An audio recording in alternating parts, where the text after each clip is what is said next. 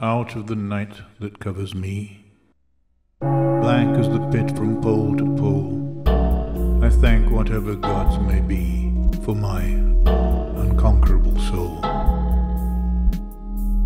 In the fell clutch of circumstance, I have not winced nor cried aloud.